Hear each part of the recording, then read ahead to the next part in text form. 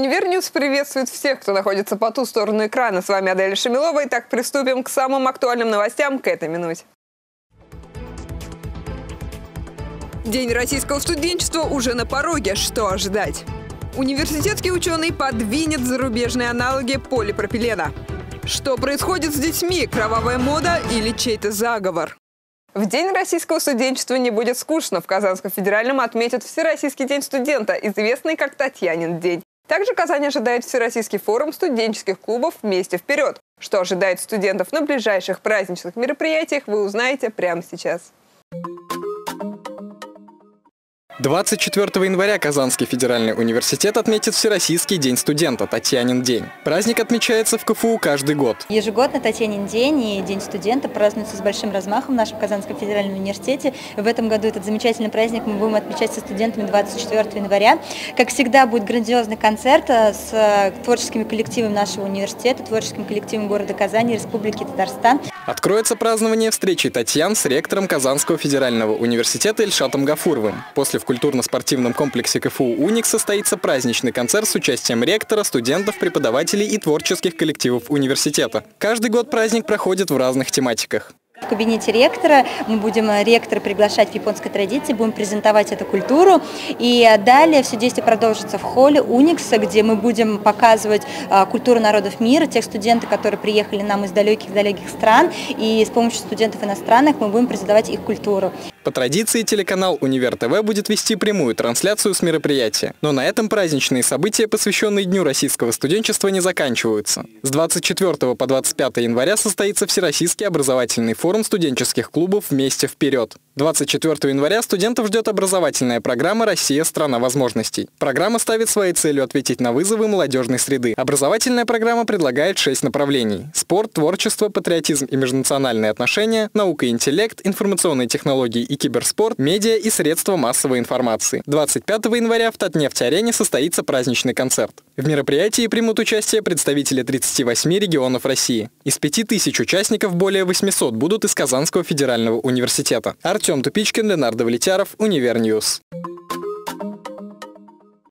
Проект Динара Балькаева стал одним из немногих проектов, который добился финансирования по программе «Умник». Чем отличилась разработка молодого ученого на фоне остальных, мы расскажем вам прямо сейчас. Мы продолжаем серию сюжетов об инновационных проектах Казанского университета, которые заслужили финансирование по программе «Умник». Напомним, 29 проектов из Татарстана получили гранты в размере 500 тысяч рублей. Каждый в рамках юбилейной программы молодежного научно-инновационного конкурса. Приятно отметить, что 8 из них представляют Казанский федеральный университет. На этот раз нам удалось встретиться с Динаром Балькаевым и узнать интересные подробности его проекта, который является разработкой функциональной добавки для регулирования степени кристалличности полипропилена. Эти добавки еще называют нуклеат катализаторы, они применяются для регулирования процесса кристаллизации расплава полимеров. Используются при производстве промышленных марок полипропилена. Э, в результате введения их в полимер улучшаются его прочностные свойства, также увеличивается температура кристаллизации расплава, что значительно ускоряет процесс производства изделий. Стоит принять к сведению, что полипропилен – один из популярных материалов. Используется одинаково широко как при создании пластиковой посуды, так и при машиностроении. Так что можно не сомневаться, данный проект имеет свою актуальность. Дело в том, что разрабатываемые Динаром добавки ранее в России ни разу не создавались. И пока производители полимеров и по сегодняшний день используют исключительно зарубежные добавки. Но это временно. Скоро все изменится. В этом убежден и научный руководитель начинающего ученого. То есть наш проект в общем-то, направлен в том числе и на импортозамещение. То есть мы планируем разработать такие добавки, которые позволили бы а, заменить импортные реагенты на отечественные, более доступные, более дешевые. Как нам удалось выяснить, проведенная работа является действительно очень важной в силу того, что полипропилен является одним из массовых материалов, которые применяются в производстве. Теперь никто не сомневается, что нашим ученым в очередной раз удастся сдвинуть с российского рынка зарубежные материалы, тем самым не только сэкономив денежные средства предприятий, но и повысив качество создаваемого. Адель Шамилова, Роман Самарин, Univer News. Телеканал «Универ ТВ» запустил новую спортивную передачу, аналогов которой на телевидении еще нет. В чем ее уникальность, расскажет Олег Кашин.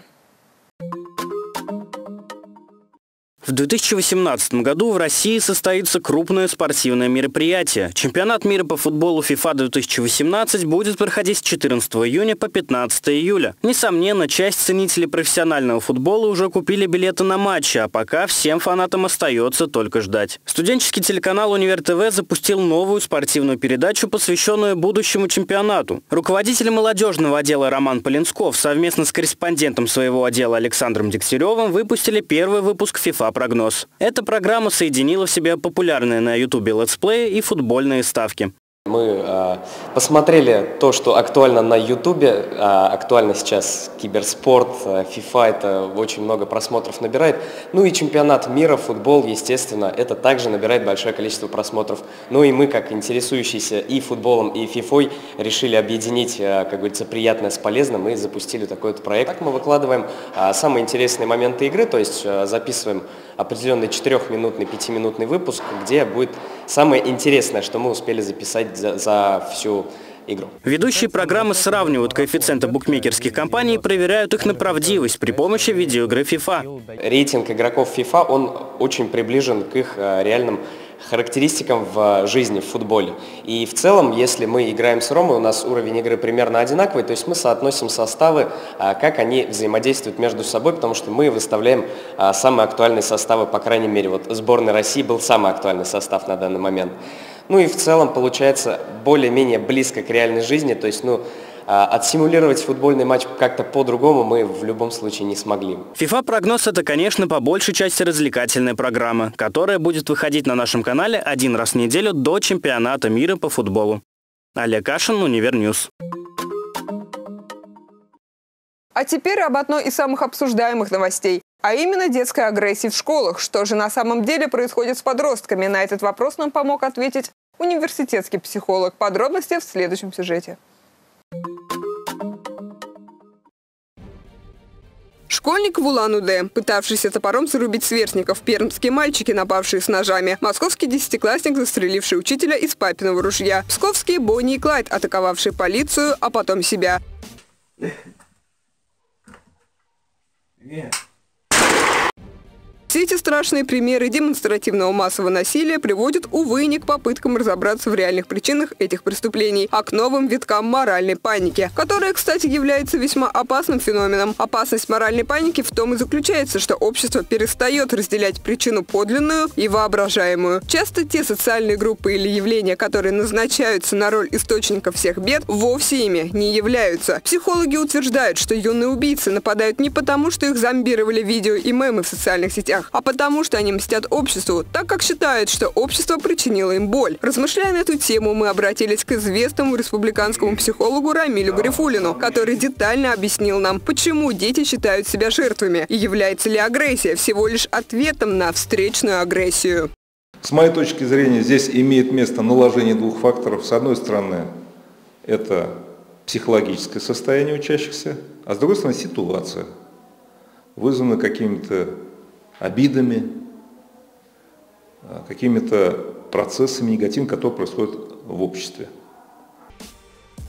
Когда происходят подобные случаи, каждый раз можно услышать, что главным виновником происходящего являются агрессивные компьютерные игры. Про влияние интернета в таких случаях говорят всегда.